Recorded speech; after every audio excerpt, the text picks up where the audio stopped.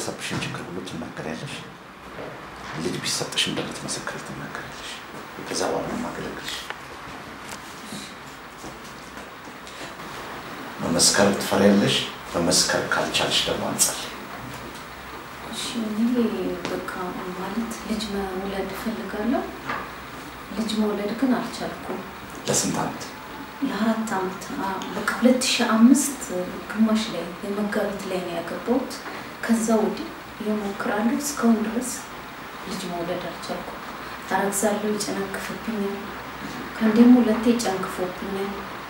ማርገዝ አልቻልኩም። አሁን ከዛ ወዲህ ያረግዝ ብዬም? ደግሞ እርግዝና የለም። እሺ ጌታ ይችላል። ይችላል። ምንም የሚሳነው ነገር የለም። እግዚአብሔር ካለ ይችላል። እኔም ይሄን አምኜ ነው የመጣሁት። ብዙ ሕክምና ውስጥ ተመላልሻለሁ። ባለቤቴ እኔ ተመላልሼ በቃ ምንም ችግር የለብሽም፣ ግን ጭራሽ ችግሬን አላወቁትም። ባለቤትሽ ምን ተባለ? ባለቤቴ አሁን መጨረሻ ላይ ተመረመረ። ሲመረመር የአርሾ ውጤት ያስፈልጋል ተብሎ እስኪ አምጣው ውጤትን ተባለ። ሲያሳይ ከአንተም ችግር አለ፣ ከአንተ ነው ችግሩ፣ መድኃኒት አዝልሃለሁ አለው ዶክተሩ። ባለቤቴ ግን እኔ መድኃኒቱንም አልውጥም፣ ሂጂ ጌታ የጌታ ሰው ጋር ሂጂ፣ ከዛ በኋላ እንነጋገራለን። መድኃኒቱንም አልውጥም፣ እግዚአብሔር ይችላል፣ ልጅ ይሰጠናል፣ አንቺ ሂጂ ነው የመጣሁት። መጣሽ። የባለቤትሽ የዘር ፍሬ አናሳ ነው አነሳ ነው ብለውኝ ይኸው መውለድ አይችልም ተብሎ። መስተካከል አለበት ለመውለድ ነው። ካልተስተካከለ ምንድን ነው ይሄ በእስክሪብቶ የተስተለ ሰውየው ችግር ያለበትን ቦታ ምልክት ምልክት ያደረገው ያ ሙሉ ካልሆነ ቁጥሩ መውለድ አይችልም። እሺ ትመሰክሪያለሽ። አሁን ምስክራል። አሁን አሜን ጸልይልሻለሁ። አሜን ከውስጥሽ የቡዳ አሜን። መንፈስ ይወጣል። አሜን አሜን የቡዳ መንፈስ አሜን ባጭና አሜን በጣም አሜን በኃይል አሜን በኃይል ጩህ። ጩህ በል። ወዴት ትሄዳለህ? በጣም አሜን አፏን ክፈት። በል ጩህ። በልተሃት በላሃት እ? መውለድ እንዳትችል በጩህ ነው። በኃይል በኃይል ድገም ድገም አሁን ድገም አሁን። ድገም በኃይል ከማህፀኗ ላይ ሄድ ድገም ድገም አሁን። ኢየሱስ አይንሽ ምለች ህንፃ ወጥተሻል? እንደሄድሽ ታረግዣለሽ የሶስት ወር ስትሆኝ መስክሪ። አሜን። ስትመሰክሪ ደግሞ ቀጣይ መልእክቱ እናገራለን። አሜን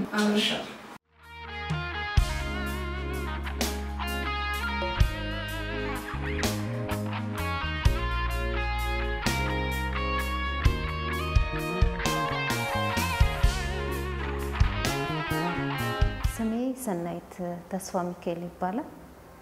እዚህ የመጣሁት ከዚሁ ከአዲስ አበባ ነው እና እግዚአብሔር ለእኔ ድንቅ ነገር አደረገልኝ እና እኔ በጣም ካገባው አምስት ዓመቴ ነው እና ልጅ ለመውለድ ፈልጌ ምንም መውለድ አልቻልኩም።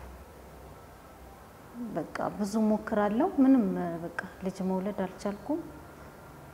እና ከአንዴም ሁለቴ እንደውም በቃ ጨንግፎብኛል።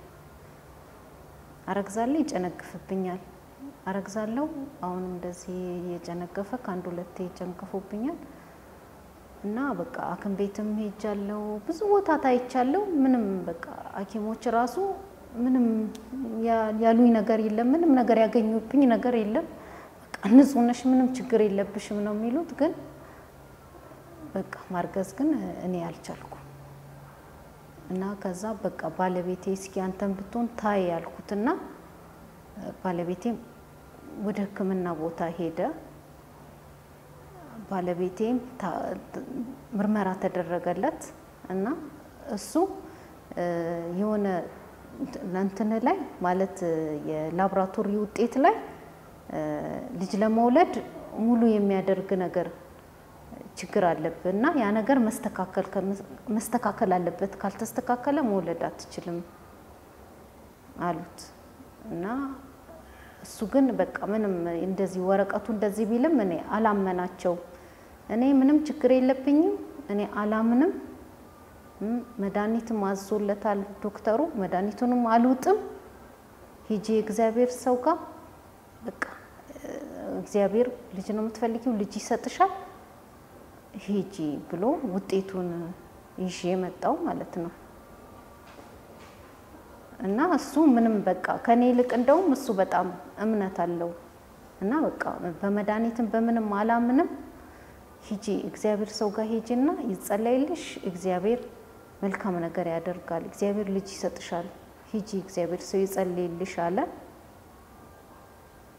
ከዛ እዚህ መጣው እንዳለውም እግዚአብሔር ለእኔ መልካም ነገር አደረገልኝ እና በውስጤ የነበረ የቡዳ መንፈስ ነበረ እና ከላይ ላይ ያለው የቡዳ መንፈስ ጮሆ ወጣ። እግዚአብሔርም እንደማረግ እንደምወልድም ተናገረኝ። በጣም ነው ደስ ያለኝ። እግዚአብሔር ለእኔ መልካም ነገር አድርጎልኛል።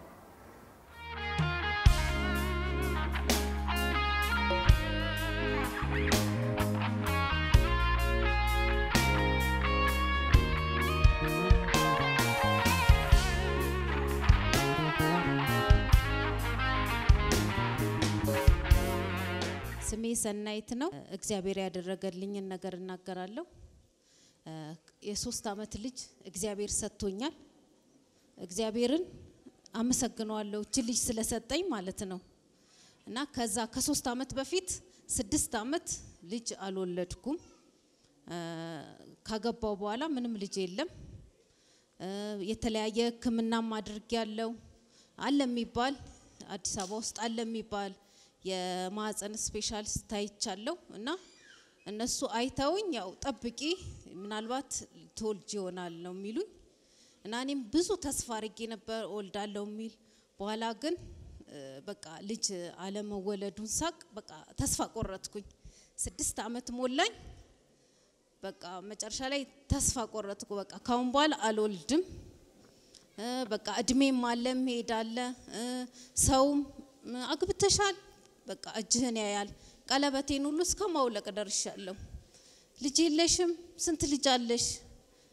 እንደውም አንዳንዴ አለኝ ሁሉ ላለሁ ለአንዳንድ ሰው ለማያቀኝ ሰው ለማያቀኝ ለሚያቀኝ ሰው ግንም አይ የለኝም ልጅ እና በጣም ከባድ ነው። እዚህ አሁን ስመሰክር ቀላል ይመስላል፣ ግን ስድስት ዓመት ማሳለፍ ማለት በጣም ከባድ ነው።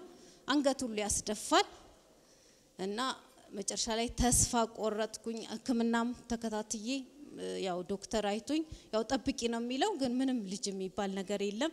መጨረሻ ተስፋ ቆርጭ እያለ እዚህ ቤተ ክርስቲያን ተስፋ በመቁረጥ ነው የምመላለስ የነበረው እና እግዚአብሔር ለምን እላለሁ፣ ለምን ልጅ አይሰጠኝም? ለምን በቃ ለምን እንደዚህ አንገቴን እስክደፋ ድረስ እላለሁ።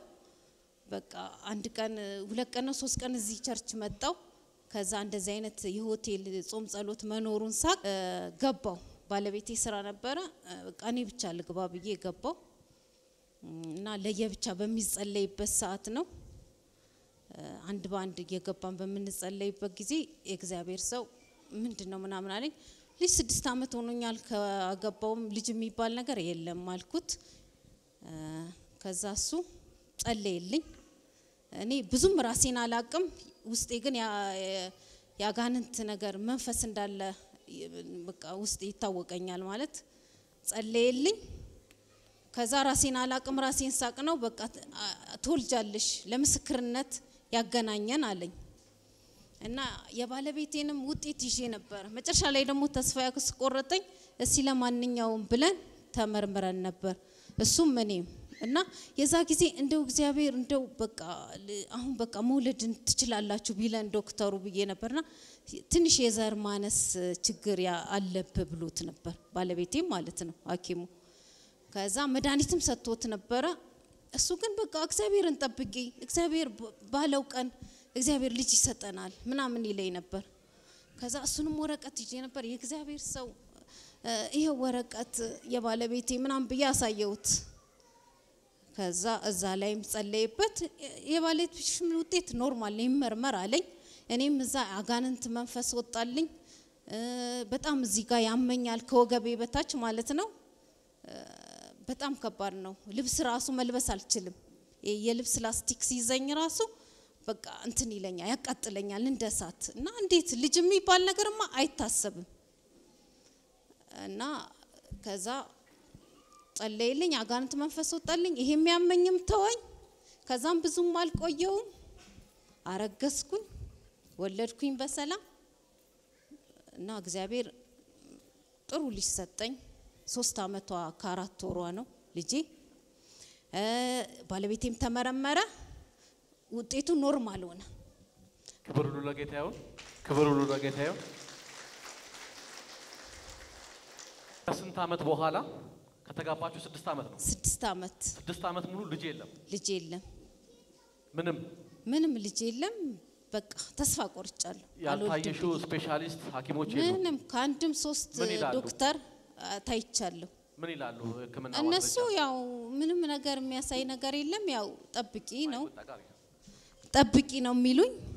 ምንም የሚታይ ነገር ማለት እንደዚሁ ኖር የሚያሳየው እንደምትወልጅ ነው። ግን ልጅ የሚሰጠው ያው እግዚአብሔር ነው። ያው ጠብቂ ነው የሚሉኝ። መድኃኒትም ይሰጡኛል ሊያግዘኝ የሚችል ማለት ነው። ምናልባት እርግዝናሽን ሊያፋጥነው ይችላል። ይሄን ዋጭ ብሎ የሚሰጡኝ ነገር አለ። ያን ወስዳለሁ። ግን ምንም ነገር የለም። ከዛ ወደ ቤች ኢንተርናሽናል ሆቴል ገባሽ። ከዛ ሆቴል ገባው።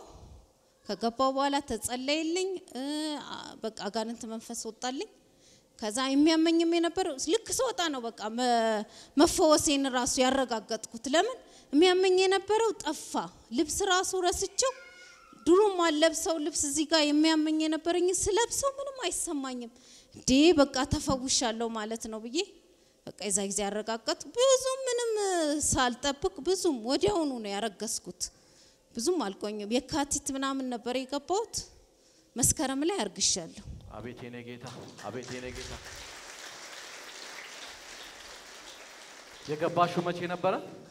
የካቲት 2010 ነው የገባሁት። ቤች የገባሁት የእግዚአብሔር ሰው ጸለዩልሽ። የእግዚአብሔር ሰው ጸለይልኝ። አንድ በአንድ በነበረ ፕሮግራም ላይ አንድ በአንድ አዎ። ከአንቺ ላይ ምን ወጣ? ከአንቺ ላይ ምን ወጣ? አጋንንት ወጣ። አጋንንት ጮ ወጣ። አጋንንት ጮ ሲወጣ ሰውነትሽን ከዛ በፊት ያምሽ ነበረ። በጣም ነበር የሚያመኝ። ከዚህ ማለት የልጅ የሚይዝበት አካባቢ ጋር በቃ ልብስ ራሱ መልበስ አልችልም። አጋንንቱ ጮ ከወጣ በኋላስ ምን ሆነ? በቃ ሳየው ምንም የሚያመኝ ነገር የለም፣ ጠፍቷል። ይሄ ነው የኛ ኢየሱስ።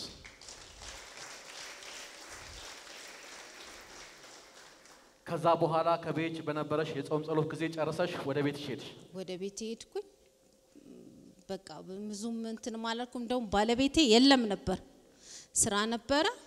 እንደ ድንገት ነው ያው የበዓል ምናምን ሰሞን ፍቃድ ምናምን ስለሚኖር ሲመጣ እንደ ድንገት ነው ያረገዝኩት። በቃ እኔ በቃ ተስፋ ስለቆረጥኩኝ በቃ ረስቼዋለሁ እና ምንም ጊዜ ሳይል ሳልፈጅ ወዲያው ነው ያረገዝኩት። እና ምንም እርግዝናዬ ምንም ምንም ምንም ምንም ጭንቀት አልነበረው።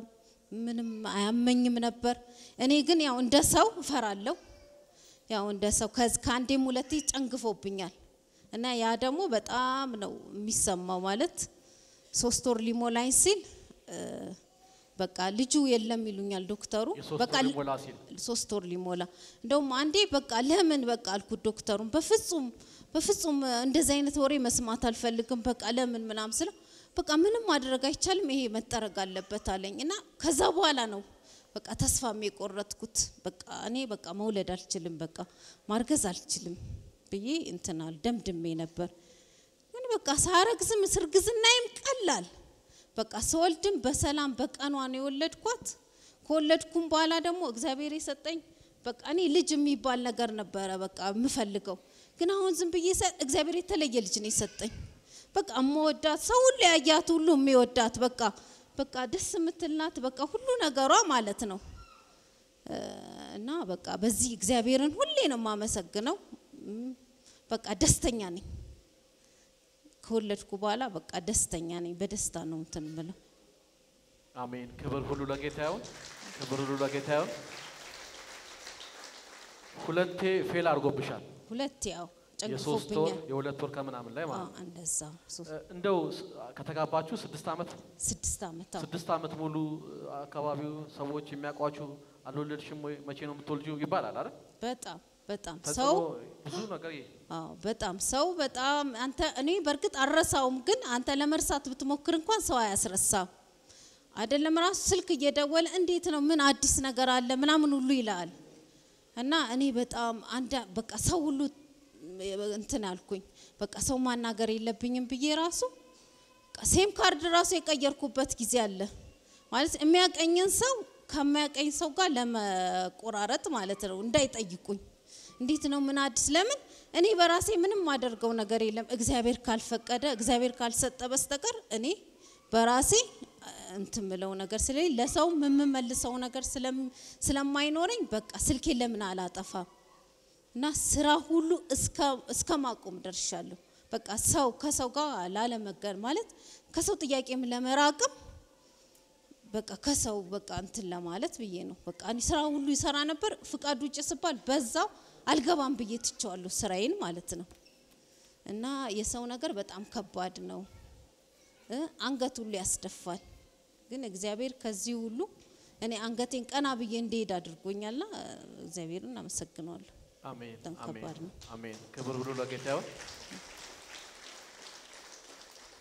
ስሜ ደመላሽ ይባላል። የሰናይት ባለቤት ነኝ። የመጣሁት ከዚሁ ከአዲስ አበባ ነው። እኔም እግዚአብሔር ልጅ ስለሰጠን በጣም ደስ ብሎኛል። እሷ ያው እንደገለጸችው አብዛኛውን ነገር እሷ ተናግረዋለች። ብዙ ሐኪም ቤት ሄደን ነበር ከእሷ ጋር አብሬያት ነበር የሚሄደው በየሄደችበት ሐኪም ቤት ሁሉ እና ትመረመራለች። እዚኛው ሐኪም ቤት እስቲ የኛውን መድኃኒት ተጠቀሚና ሞክሪ ይሏታል። በሚቀጥለው ደግሞ ሌላ ሐኪም ቤት ትሄዳለች። ያም አይሆን ሲል ማለት ነው። አሁንም ሌላ ሐኪም ቤት ትሄዳለች። አሁንም እስቲ ይሄኛውን ደግሞ ሞክር ይሏታል። የሕክምና history ዋን እያዩ በዚህ በዚህ ደግሞ ሞክሪ፣ በዚህ በዚህ ደግሞ ሞክሪ እያሏት ብዙ ቦታ ሄደናል። ያው almost አሉ የተባሉ ሐኪም ቤቶች ሄደናል። ምንም ያገኘነው ውጤት የለም። ያው መድኃኒት እንትን ከማለትና ገንዘብ ከማጥፋት በስተቀር ምንም ያገኘነው ለውጥ የለም እና በስተ መጨረሻው እሷም ያው ቤች ገብታ ከተጸለየላት በኋላ እኔ ቤች ከመግባቷ በፊት ተመርምሬ ነበረ። የዘር ምርመራ አስደርጌ ነበርና እዛ ጋር የሚያሳየው ውጤት ከሚፈለገው መጠን በታች ነው፣ የዘር መጠኑ ማለት ነው። እና ያን ውጤት ይዘን እንዳለ እሷ ይዛ በእምነት ቤች ገባች። ከዛ በኋላ ቤች ሲጸለይላት የእግዚአብሔር ሰው ምን አላት?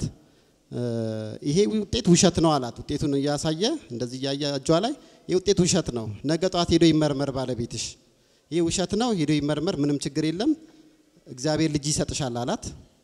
እንደተናገረውም እኔም በ I think ወደ ሳምንት ከሳምንት በኋላ ይመስለኛል ሄጄ ተመረመርኩኝ።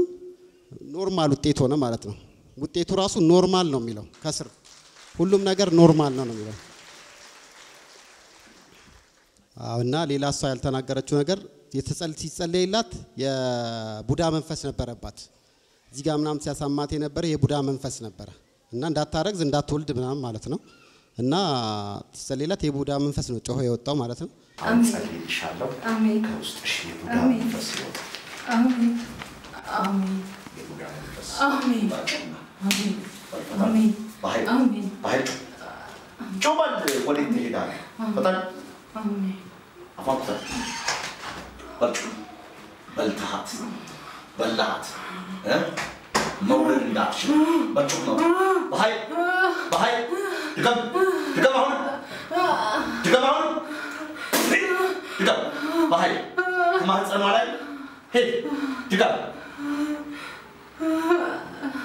አሁን ኢየሱስ አይንሽ ምልክት ህንፃ ወጥተሻል? እንደሄድሽ ታረግሻለሽ የሶስት ወር ስትሆኝ ሄደሽ መስክሪ አሜን። ስትመሰክሪ ደግሞ ቀጣይ መልእክቱን እናገራለን አሜን። ከዛ ያው እኔ ስራዬ ክፍለ ሀገር ነው የምሰራው። ወጣ ገባ ላለው አዲስ አበባ። አልነበርኩም ነበርና ከስድስት ወር በኋላ አረገዘች። መታችሁ መስክሩ ተብለን ነበረ። በዚሁ በስራው ምክንያት ሆኖ ምንም ሳንመሰክር ቀረን መጣን። መስከር አልቻልንም መተን እና በዛ መልኩ ልጁም ተወለደች፣ ልጅቱም ተወለደች። በጣም ቆንጆ ልጅ እግዚአብሔር ሰጥቶናል፣ የምታምር ልጅ። እግዚአብሔር እንድታመሰግኑልን እንጠይቃለን።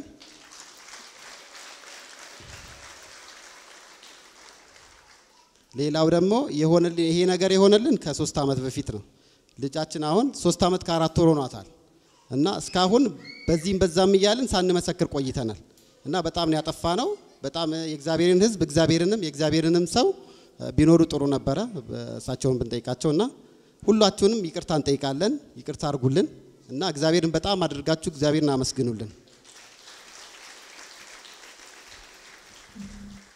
ባለመመስከሬ ሁሌ ይዘኛል ጭንቅላቴ ማለት በቃ እግዚአብሔር እንደዚህ መልካም ነገር አድርጎልኝ እኔ እስካሁን መቀመጤ በጣም ይጸጽተኛል። ግን በቃ ልመሰክር ሳስብ የሆነ 2011 ነው የወለድኳት ግንቦት መስከረም አረገዝኩኝ ግንቦት ወለድኳት። ከዛ በኋላ በአመቱ ሄዳለው አመት ሳይሞላ ስድስት ወሯ ሰባት ወሯ ሄዳለሁ ስል ኮረና መጣና በዛው ሰውም በቃ ቤተ ክርስቲያን ተከልክሏል ምናምን ሲባል የዛ ነው በቃ ክፍተቱ ትንሽ እንትን ያለኝ ያዘናጋኝ። ከዛ በኋላም በቃ ኧረ ቆይ ሄዳለሁ ሄዳለሁ እያልኩ ግን አሁን በጣም ይቅርታ ጠይቃለሁ። በእግዚአብሔር ሕዝብ ፊት እግዚአብሔርን ይቅርታ ጠይቃለሁ እስካሁን በመቆየቴ እንደዚህ ተደርጎልኝ ማለት ነው። አሜን። ክብር ሁሉ ለጌታ ይሁን። ክብር ሁሉ ለጌታ ይሁን። እስቲ በደንብ አመስግኑት ይህን ጌታ።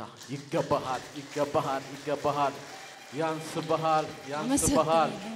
የነገስታት ሁሉ ንጉሥ፣ የጌቶች ሁሉ ጌታ፣ የይሁዳ አንበሳ ይገባሃል። ክብር ይገባሃል፣ ምስጋና ይገባሃል፣ ያንስብሃል። ተባረክ፣ ተባረክ፣ ተባረክ። እንደው ልክ እንደናንተ አሁን የዘነጉ በተለያየ ነገር እግዚአብሔር ያደረገላቸውን ብዙ ሰዎች አሉ እና በዚች ቤተ ክርስቲያን ደግሞ እግዚአብሔር በኃይል በሙላት እግዚአብሔር እየሰራ ነው። ብዙ ያልተጎበኘ ሰው የለም። እኛ ምስክሮች ስለሆን ማለት ነው። እስቲ ለእነሱስ የምታስተላልፉት መልእክት ካለ እሺ አመሰግናለሁ። እዚህ መጥቶ የተደረገለት ሰው መመስከር ያለበት አንደኛ ነገር ለራሱ ሲል ነው። የመጀመሪያው ነገር ለእግዚአብሔር ክብር ነው። ሁለተኛው ደግሞ ለራሱም ሲል ነው። እግዚአብሔር በአንድ ነገር አንዱ በአንዱ በረከት ሌላውን በረከት ስለሚቀጥል ያን ነገር ማዘግየት ይሆናል ራሱ አለመመስከር ማለት ነው። ስለዚህ እግዚአብሔርን ማመስገን በወቅቱ ነው፣ በሰዓቱ ነው። እግዚአብሔርን ለእግዚአብሔር ክብር ማመስገን አለብን፣ መተን መመስከርም አለብን እና በየቤታችሁ ተደርጎላችሁ የተቀመጣችሁ ካላችሁ እግዚአብሔርን አመስግኑ። ለእግዚአብሔር ክብር ኑና መስክሩ። እግዚአብሔር እንደሚችል ተናገሩ። እግዚአብሔር በዚህ ቦታ ላይ በዚህ ስፍራ ላይ እየሰራ እንደሆነ ምስክር ሁኑ። እግዚአብሔር ይባርካችሁ።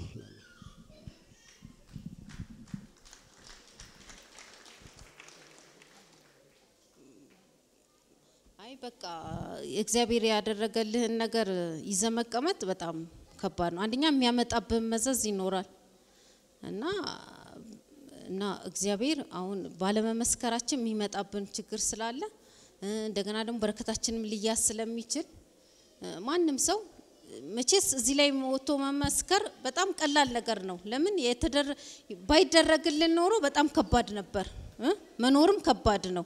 እዚህ ግን መጥቶ መመስከር በጣም ቀላል ነገር ነው፣ የቀላል ነገር ነው። ስለዚህ ማንም ሰው ተደርጎለት ቤቱ አይቀመጥ፣ መጥቶ የእግዚአብሔርን ያደረገለትን ነገር መጥቶ ይመስክር ነው የምለው።